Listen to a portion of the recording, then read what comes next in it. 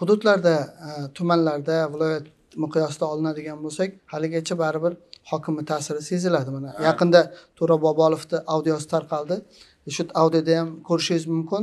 Prokurorga bosim o'tkazyapti. Shu e, qaysidir jinoyat ishini qo'zg'atilgan jinoyat ishini nima uchun qo'zg'atding nimaga meni odamimga degan shu ma'no kelib shu chiqyapti. Shu ma'no.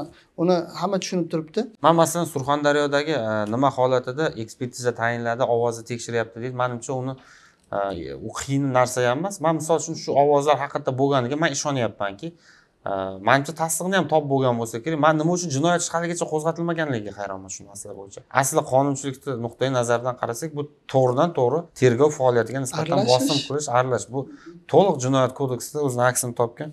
Lekin yana boyagi bu ikki yuzlamachilik e, yondashuv bo'lyaptiki e, shuni fuqaro qilganda u javobgar bo'lib hozir o'tirgan bo'lardi javobini lekin uni amaldor qilyapti ho'p unga kelganda qanday yondashuv? Demak o'z o'zidan ko'rsatyaptiki biz amalda qonunlarni qo'llashda bir xillik tenglik siyosati yo'q. Xuddiki hokimlar daxlsizdek yo'q o'zicha umuman daxlsiz degan tushunchani o'zi noto'g'ri. Umumiy daxlsizlik hammada bor konstitutsiya yo'q aynan jinoyat qilsa ham qonunni buzsa ham daxlsizligini nazarda tutyapmanda. Bu amalda shundayku.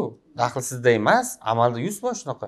Qonunda ularga daxlsizlik berilmagan bo'lsa ham amalda yuz foiz. Ya'ni qonunda belgilanmagan o'sha yozilmagan qoidalar bizda zo'r ishlaydi.